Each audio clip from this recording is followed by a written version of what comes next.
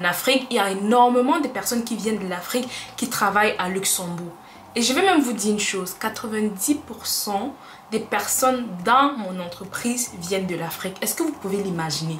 Je dis 90%, je pèse mes... Hello tout le monde, je vous souhaite la bienvenue sur ma chaîne YouTube. Si tu es nouveau ou nouvelle ici, je te souhaite la bienvenue. Je m'appelle Maniela. Si tu as l'habitude de regarder mes vidéos ou si tu es déjà abonné à ma chaîne, welcome back Alors aujourd'hui, nous allons continuer avec les vidéos sur le Luxembourg. Parce que il y a tellement de questions qui reviennent donc euh, j'aimerais euh, couvrir le sujet pas en globalité parce que je pourrais pas mais un bon nombre de points avant de passer à autre chose ok?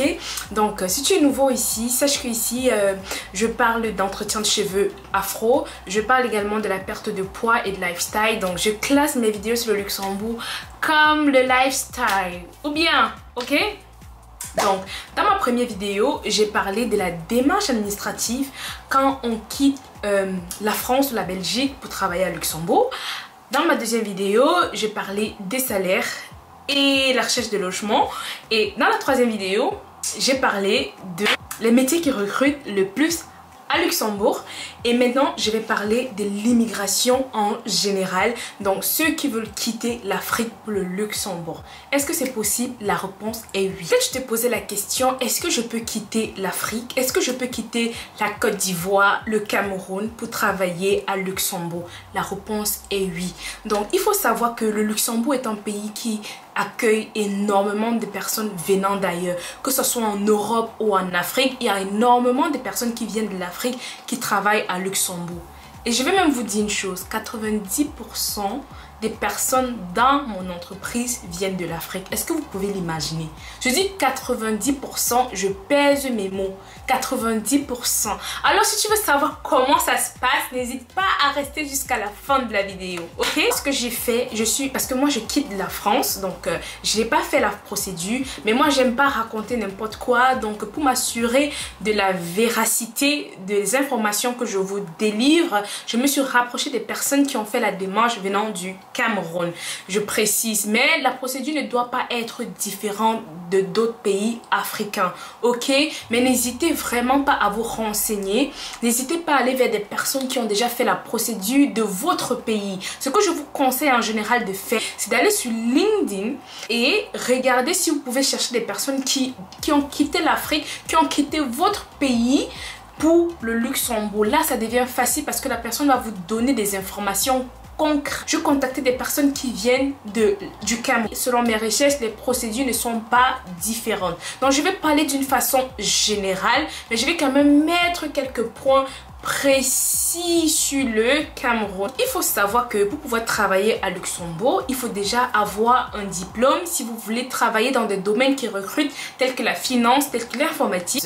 Donc, euh, je ne sais pas si vous pouvez travailler sans expérience, mais n'hésitez jamais de tenter votre chance. C'est-à-dire, si vous venez fraîchement euh, d'une école de commerce, telle que par exemple la Cato, l'Université catholique d'Afrique centrale, et que vous voulez postuler directement à Luxembourg sans aucune expérience, allez-y, même si vous ne voyez pas quelqu'un autour de vous qui a déjà fait ça, allez-y, mais ça sera plus facile pour quelqu'un qui a déjà une expérience de postuler par exemple en audit financier et d'être recruté. J'aimerais aussi préciser que les personnes que je contactais travaillent dans des cabinets, dans des grands cabinets et aussi euh, les personnes que je connais euh, travaillent aussi dans des petits cabinets d'audit. Bon, je n'ai pas vu quelqu'un qui a fait l'immigration qui travaille en banque, non. le plus souvent, ce sont des personnes qui travaillent dans des cabinets. Quand je parle des cabinets, ce sont des cabinets d'audit. Donc, si vous avez fait finance, si vous avez travaillé en tant que financier au Cameroun, ça sera au Cameroun ou en Afrique en général, ça sera facile pour vous d'immigrer ici et qu'on vous fasse un permis de travail. Donc, quelle est la première chose à faire C'est déjà de regarder les offres d'emploi sur les sites des entreprises. Je pense que ça, je l'ai déjà dit, c'est la meilleure façon de savoir si une entreprise recrute ou pas. Selon ma dernière vidéo, je vous ai dit qu'il y a, il y a les secteurs qui recrutent le plus à Luxembourg, qui est le secteur financier et le secteur de l'informatique. En ce qui concerne le secteur financier, il y a l'audit financier. Les cabinets d'audit recherchent toujours des personnes. Donc vous avez la chance de postuler en audit et d'être recruté. Si n'avez aucune expérience en audit et que vous vous avez quand même une expérience en finance, c'est possible pour vous de tenter votre chance. Il n'y a rien qui est défini. L'audit financier ne demande pas en amont une expérience en audit, mais si vous avez une expérience en comptabilité, en finance, vous pouvez postuler en tant qu'auditant. Quand vous avez ciblé les offres, maintenant c'est à vous d'aller sur les sites des entreprises et postuler. Il n'y a pas deux façons de faire. Allez sur les sites des entreprises, recherchez les offres et postuler. Et j'ai déjà précisé ici, les Big Four ne recrutent pas uniquement en audit, ils recrutent dans d'autres secteurs. C'est à vous d'aller chercher les informations. Allez sur leur site. Par exemple, vous tapez euh, Luxembourg, Deloitte Luxembourg, Grand Thornton, Luxembourg, BDO, Luxembourg. Ça dépend de vous. Ces cabinets, ils sont toujours à la recherche et ils recrutent les gens de partout, même en Afrique. Donc, c'est à vous d'aller sur ces sites d'entreprise et de postuler. J'aimerais préciser quelque chose de très, très, très important. Avant de postuler, assurez-vous que votre CV est très, très, très bien fait je précise, je mets l'accent. Et privilégiez les CV en anglais. S'il vous plaît, en anglais. Battez-vous pour avoir un CV propre. Un CV qui reflète l'Europe, j'ai envie de dire parce que je me rappelle quand je suis quittée du Cameroun avec mon CV, je suis arrivée ici, ça n'avait aucun sens. On pouvait jamais me recruter avec le genre de CV là. Non, assurez-vous, si vous avez des personnes qui travaillent en France, en Belgique, demandez-leur le CV et inspirez-vous de leur CV pour pouvoir faire les vôtres. Ok? C'est très très important. N'utilisez pas vos CV du Cameroun là pour postuler ici. Ça ne doit pas marcher. Je vous dis déjà. Sauf si vous avez déjà en amont un bon CV. Et quand vous ciblez des offres, assurez-vous que les skills que vous avez mis sur votre CV reflètent l'offre en question. Parce que ça, c'est la première, première chose qu'il faut faire pour pouvoir matérialiser votre immigration. C'est de trouver une offre d'emploi passer les entretiens et avoir un contrat. Parce que si vous n'avez pas un contrat, vous ne pouvez pas immigrer facilement à Luxembourg en tant que travailleur. Voilà, arrangez vos CV, postulez et vraiment ne vous découragez pas. C'est pas parce que une entreprise a refusé que tu vas dire ah man non, tu insistes. Même la même entreprise là insiste, insiste ne te décourage pas. Et aussi une autre astuce que moi j'ai vraiment utilisée, c'est d'aller sur LinkedIn. Quand tu connais déjà l'entreprise que tu cibles là, tu passes sur LinkedIn, tu tapes par exemple junior ou bien manager dans tel ça te sort les managers de, l'entreprise là, ok? Tu passes sur les, tu, tu leur envoies un petit message bien ficelé avec un bon français ou un bon anglais là tu envoies ton CV. Si tu leur demandes s'ils peuvent envoyer ton CV au RH, si tu réussis à faire cela, honnêtement, tu as déjà décroché un entretien. Et ça, c'est un step en plus. Ça, c'est un gros, gros step en plus. Donc, n'hésite vraiment pas. Mets ton LinkedIn à jour. Et va les entreprises que tu sais, que ce soit un petit cabinet, un grand cabinet, une banque, n'hésite pas à te rapprocher des personnes qui travaillent déjà là-bas. Parce que si vous voulez, en cabinet aujourd'hui, il y a un système de cooptation. Comment si une personne te recommande dans une entreprise, la personne est payée pour ça si tu es recruté. Ça n'a vraiment aucun intérêt de ne pas envoyer ton CV. Mais rassure-toi que ton LinkedIn est à jour, très bien fait. Donc voilà, nous avons parlé de comment rechercher le travail, comment postuler, comment faire son CV. Voilà, je vous ai donné quelques pistes. Donc maintenant, on passe à la prochaine étape. Et la prochaine étape ici, c'est de euh, faire la demande de permis du travail. Quand votre entreprise vous recrute, voilà, durant les entretiens, vous, vous allez prévenir votre entreprise que voilà, vous êtes au Cameroun, vous êtes en Afrique, vous êtes euh, en Côte d'Ivoire, Prévenez votre, votre, votre employeur que vous n'êtes pas en Europe, voilà. Et dans ce cas, le recruteur saura qu'il vous faut un permis de travail. En général, c'est l'entreprise qui vous fait le permis de travail, c'est l'entreprise qui entreprend la démarche. En fait, c'est la même c'est la même démarche que quand on est en Europe et qu'on vient d'un pays tiers. Donc, on n'est pas euh, européen. Mais la seule différence ici, c'est que ceux qui sont en Afrique ont besoin d'un visa pour arriver à Luxembourg. Ok? Et euh, ce que vous allez savoir, c'est que euh, pour la, demande du permis de, travail, l'entreprise va vous demander euh, vos, diplômes. L'entreprise va vous demander un certificat médical, un extrait de casier judiciaire et bien d'autres documents, ok? Comme je vous ai dit, si vous voulez faire la procédure, n'hésitez pas à vous rapprocher des personnes qui ont déjà fait cette procédure. Si vous ne connaissez pas avec qui vous rapprocher, allez sur LinkedIn et faites des recherches ciblées. Vous allez trouver des, pistes. Voilà, ce n'est pas... Les, choses peuvent changer entre-temps, ok? Donc, vous auriez besoin d'ici vos diplômes, extrait des casiers judiciaires, votre passeport, euh, un certificat médical, voilà, et ce sont des, documents que vous allez envoyer par DHL à votre entreprise.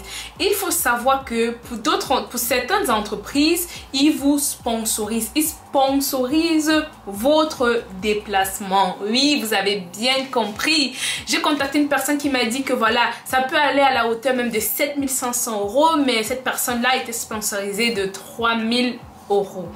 Donc voilà, les 3000 euros vous permettent de payer euh, vos frais de visa, par exemple, qui ne sont pas énormes, ok?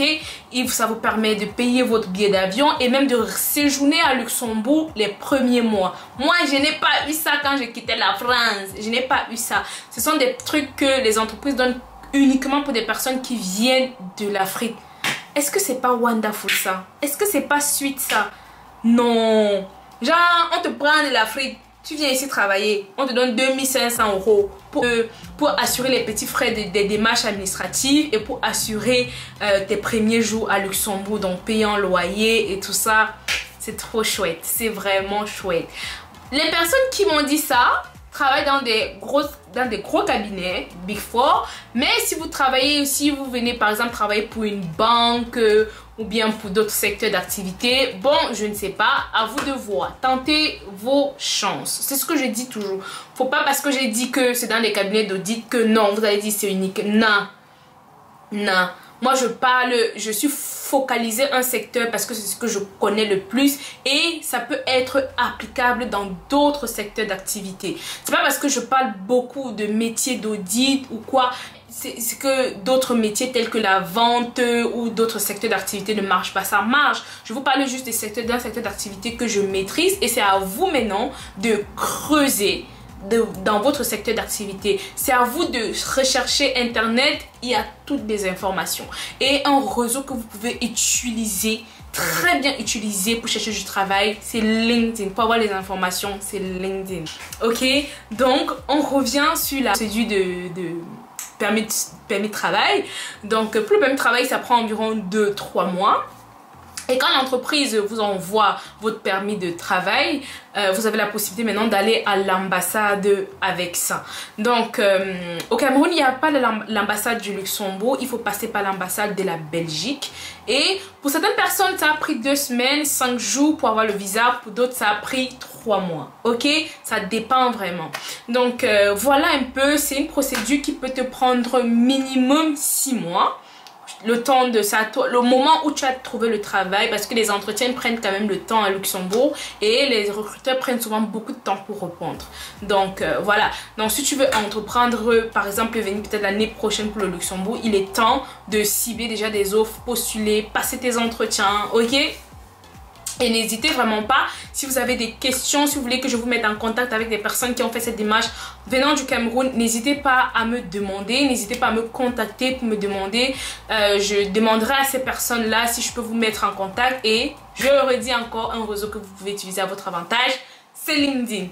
En gros, voilà ce que j'avais pour vous pour cette vidéo, pour ceux qui sont en Afrique. Donc, euh, possible pour vous de trouver du travail à Luxembourg, d'émigrer à Luxembourg et de travailler à Luxembourg. Donc, il faut juste chercher, il faut avoir un contrat de travail, ok? Et quand l'entreprise vous fait un contrat de travail, l'entreprise vous fait un permis de travail, avec ça, vous pouvez demander le visa et vraiment, les frais ne sont pas énormes. Les frais ne sont pas... Et pour certaines entreprises, l'entreprise vous donne l'argent pour ces démarches-là. Ok? Et euh, pour ceux qui sont dans d'autres pays d'Europe, c'est la même chose que quand vous quittez la France pour le Luxembourg. C'est la même chose, vous avez besoin d'un permis de travail, vous n'avez pas besoin de visa dans ce cas. Ok? En Europe, vous n'avez pas travailler à Luxembourg si vous êtes européen, ou bien si vous venez d'un pays tiers et que vous avez une résidence, vous travaillez à Luxembourg, vous vivez dans un autre pays d'Europe, vous pouvez postuler directement. Alors j'ai reçu une question comme quoi si je suis sans papier et tout, j'ai envie de te dire, bah, si tu es sans papier dans un pays européen, on ne sait jamais, postule. Je connais quelqu'un qui quittait de la France, travaille à Luxembourg, qui quittait de la France, qui avait perdu ses papiers en France et aujourd'hui travaille à Luxembourg. Donc tout est possible, ok? Ne vous basez pas sur les expériences des gens pour faire des choses. Shoot your shot, ok? Shoot your shot. Moi, je sais que, voilà, quand je faisais mon permis de travail, on m'avait demandé ma carte de séjour française. Peut-être que toi, on va te demander, on va savoir que peut-être ça a déjà expiré, je ne sais pas. Donc, euh, essaye. Si tu n'essayes pas, tu ne sauras jamais. Je vous dis merci d'avoir regardé cette vidéo. Je vous donne rendez-vous dans ma prochaine vidéo. N'hésitez surtout pas les amis à vous abonner si cette vidéo vous a plu. Abonnez-vous, likez ma vidéo s'il vous plaît. Laissez-moi un like pour que YouTube puisse recommander ma vidéo à d'autres personnes. N'hésitez pas surtout à partager à vos connaissances parce que je sais que plusieurs personnes ont besoin de regarder euh, ont besoin des informations que je délivre sur l'immigration au Luxembourg. Je vous remercie énormément d'être resté jusqu'à la fin de la vidéo. Merci d'avoir regardé la vidéo. Merci de m'encourager. Merci à ceux-là qui recommandent mes vidéos à d'autres personnes. Je suis vraiment reconnaissante. Ma chaîne est grandie. Je vais dire petit petit à son rythme quoi. Donc euh, je suis tellement reconnaissante. Je vous dis merci beaucoup et je vous donne rendez-vous dans ma prochaine vidéo. Bye